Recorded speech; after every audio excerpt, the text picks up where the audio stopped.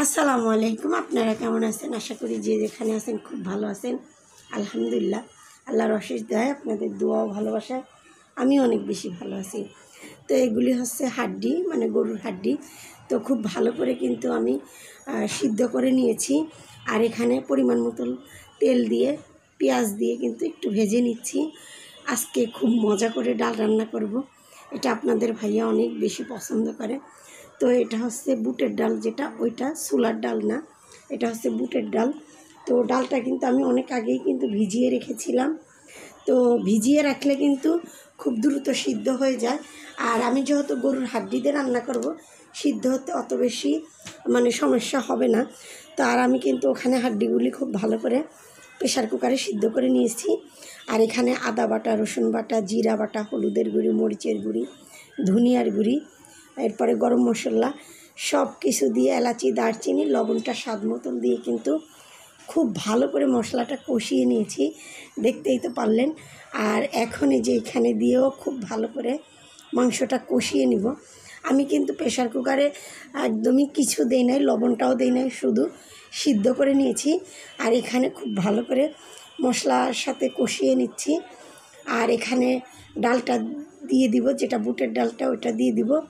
আর আমি যদি মাংস দিয়ে রান্না করতাম, তাহলে কিন্তু আমি একটু ডালটা একটু সিদ্ধ করে নিতাম। যেহেতু আমি এখানে মাংস নাই, শুধু মানে বড় হাড্ডিগুলি, তো এখানে আর ডালটা সিদ্ধ করে নেওয়া লাগবে না। এখানে দিলে খুব সুন্দরভাবে সিদ্ধ হয়ে যাবে। তেলের পরিমাণ কিন্তু আমি একদমই কম দিয়েছিলাম, কিন্তু এখান থেকে অনেক তেল উঠে আসছে। আর এগুলি দিয়ে কিন্তু ডাল রান্না করে খেতে কিন্তু অনেক বেশি মজা লাগে। ছোলার ডাল বলেন, বুটের ডাল বলেন, অনেক বেশি মজা লাগে। আর আমরা কিন্তু এটা খাইও। আমি আরও একবার খেয়েছি ওটা আর আপনাদের সাথে দেখাইতে পারি না। ওগুলি একটু ছোট হাড্ডি ছিল, মাংস ছিল, ওইটা রান্না করেছিলাম। কিন্তু আজকে বড় হাড্ডিতে রান্না করতেছি কারণ আপনাদের ভাইয়া অনেক বেশি পছন্দ করে ডাল দিয়ে গরুর হাড্ডি, মাংস দিয়ে রান্না করলে। খুব পছন্দ করে। তো আর এই ডালটা কিন্তু আমি আগেও খেয়েছি, খুবই তাড়াতাড়ি সিদ্ধ হয়ে যায়, এই কারণে আর সিদ্ধ করলাম না। আপনারা যদি সিদ্ধ করতে চান, একটু সিদ্ধ করে নেবেন, কোনো সমস্যা নেই।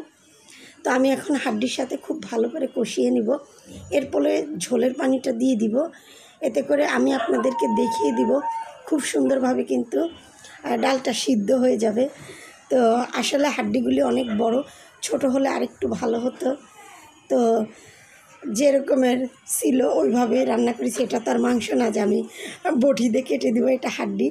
চাইলেও আমি কাটতে পারব না। আর খুব সুন্দরভাবে সিদ্ধ হয়েছে। অত সমস্যা হয় না আর হাড্ডি তো আর সিদ্ধ হবে না, মাংসগুলি সিদ্ধ হয়ে গেছে। তো খুব সুন্দর করে কিন্তু কষিয়ে নিয়েছি।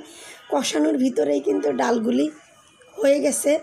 তো এখন আমি ঝোলের পানি দিব। দেখতেই মনে হচ্ছে যে হয়ে গেছে।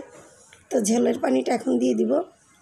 আর কয়েকটা কাঁচামরিচ দিয়ে দিব। আসলে এটা কিন্তু অনেক বেশি মজা লাগে। পানিটাও কিন্তু আমি গরম করে দিয়েছি। এখানে সব কিছু দিয়েছি, এলাচি, দারচিনি সব কিছু দিয়েছি। খুবই মজা লাগে। এই আপনার যে কোনো ডাল দিয়ে যে কোনো ডাল দিয়ে মজা লাগে না, ছোলার ডাল আর বুটের ডাল দিয়েই কিন্তু অনেক বেশি মজা লাগে। তো খুব ভালো করে কিন্তু ফুটে উঠেছে আর আমি গরম পানি করে দিয়েছিলাম। কয়েকটা কাঁচামরিচ দিয়েছি, কারণ আমার কাছে মনে হচ্ছে তরকারিটা একটু ঝাল হবে। কালারটা অনেক সুন্দর এসেছে। তো ওইটা ওইদিকে হতে থাক। আর যত ডাল, একটু তো রসুন দিয়ে বাগার দিবই। আর এটা কিন্তু অনেক বেশি মজা লাগে। ফ্লেভারটা অনেক সুন্দর আসে আর খেতে অনেক বেশি মজা হয়।